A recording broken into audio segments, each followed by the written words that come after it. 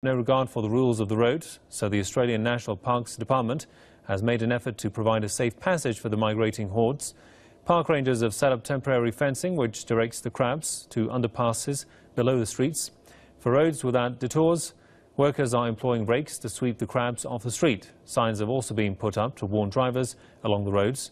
And when they overcome all those obstacles and reach their destination, they dig burrows for the females who arrive five to seven days later. After breeding, the females stay in the burrows for another two weeks or so, laying eggs and waiting for them to develop.